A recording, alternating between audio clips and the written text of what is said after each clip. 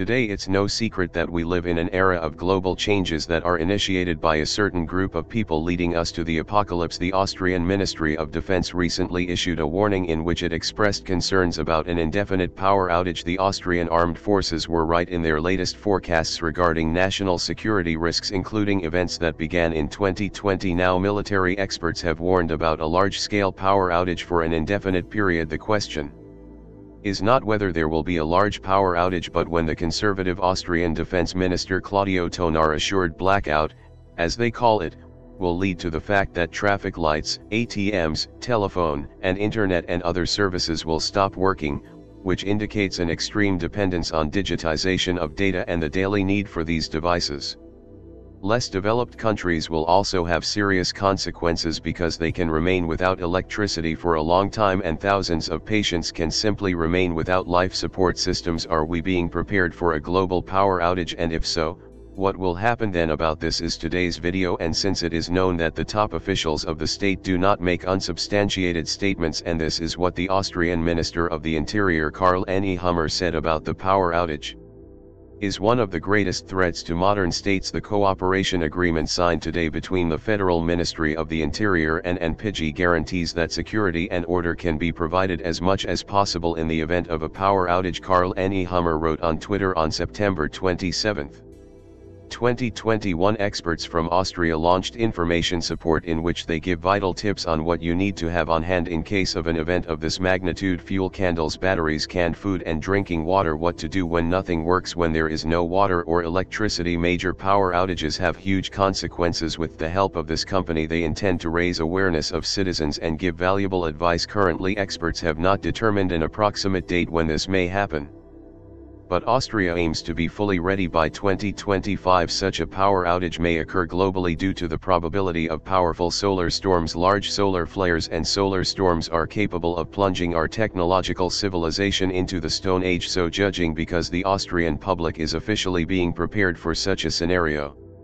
then most likely there are plans or you have something similar and now let's take a closer look at what awaits us in such a scenario and so a complete blackout is far from the most common scenarios of the end of the world in popular culture, nuclear war, various epidemics, and environmental disasters are ahead of it by a margin, and this is strange because in fact the disappearance of electricity is a frighteningly realistic plot. Modern civilization cannot exist without electricity. It is thanks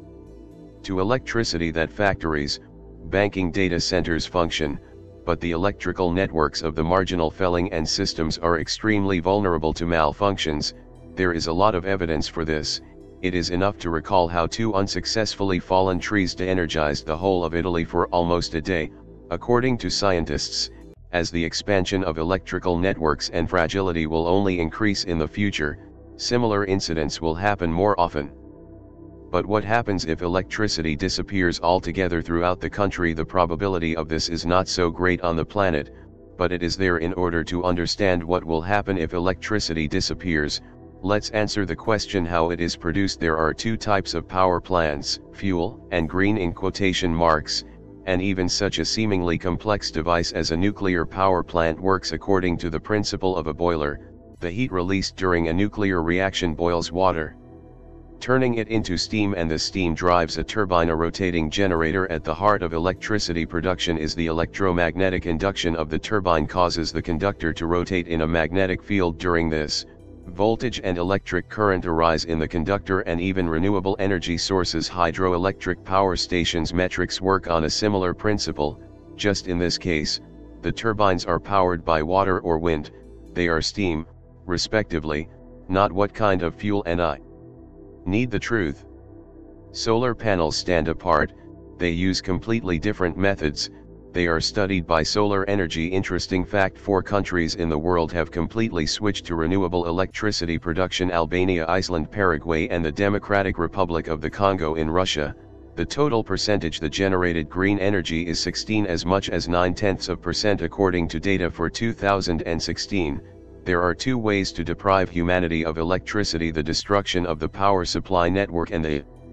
most powerful electromagnetic pulse. At first glance it seems that the first scenario is absolutely impossible. The electric networks are decentralized and modern civilization allows you to quickly troubleshoot problems, but in fact this is not quite so. Some researchers believe that the more power plants and wires on the planet, the more fragile the power supply network becomes, the larger the system becomes. The more any damage caused becomes unpredictable the decentralization of the power grid plays a cruel joke with them due to the lack of a single control center, in particular, this is due to the fact that electric grid companies belong to the private sector and are reluctant to exchange information with each other, sometimes even small damages can lead to serious consequences, for example, in 2012, a malfunction occurred in India that deprived half of the country of energy for almost two days. Causing huge damage to the economy and disrupting the daily routine of millions of people, experts blame the privatization of the energy sector for everything companies do not want to allocate resources to maintain backup capacities in the network that could act as such a safety cushion during force majeure and, as some researchers believe, Climate changes over time can prevent green power plants from properly generating current over the past 10 years due to a lack of rains, hydroelectric power. Plants in Kenya, India, Tanzania and Venezuela could not cope, which also led to such a shutdown. Scientists' anxiety is reinforced by the fact that the need for electricity is growing all the time, according to some estimates, between in 2008 and 2035, the need for electricity will grow by 80% and natural resources may simply not be enough to provide such a need. Powerful electromagnetic pulses can also pose a danger, and this happens only with an incredibly huge solar storm or after the use of the right warheads in the air, which also leads to a local electromagnetic pulse, this can really turn off electrical devices for a while, and the higher a nuclear bomb is detonated in the sky, the more powerful the electromagnetic pulse will be. 60 the Americans put the experiment under under the name Starfish Prime, a nuclear warhead was detonated at an altitude of 400 kilometers above the Pacific Ocean to test the strength of an electromagnetic pulse 1,500 kilometers from the epicenter in Hawaii.